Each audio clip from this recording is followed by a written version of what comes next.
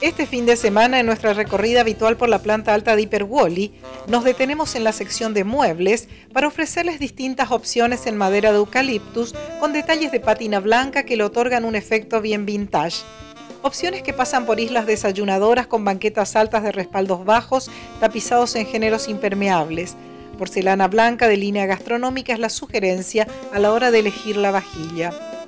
Ideal para un quincho es esta mesa de 2,50 por un metro con patas plegables, a la que se suman los bancos cabeceros simples y dobles.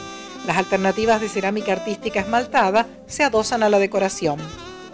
Si hablamos de ambientes de dimensiones reducidas, nada mejor que estas opciones plegables de mesa cuadrada y sillas que pueden llevarse en juego o de manera individual. En imágenes, un juego de living que seduce con solo observarlo. Es señorial desde sus respaldos curvos, amplios con barrotes y varillas envolventes y también por la originalidad de su tapizado en composé. El sillón grande es de dos cuerpos al que se suman los individuales de buenas dimensiones. En primer plano un sillón camastro de tres cuerpos muy cómodo al que acompañan almohadones tapizados con géneros importados impermeables en estampas muy frescas y de interesante efecto visual. En la vista final se exhibe un juego de comedor de grandes dimensiones.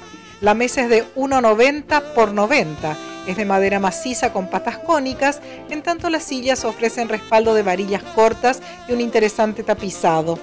La deco de cerámica artística ostenta variedad de matices celestes. Hasta la próxima semana.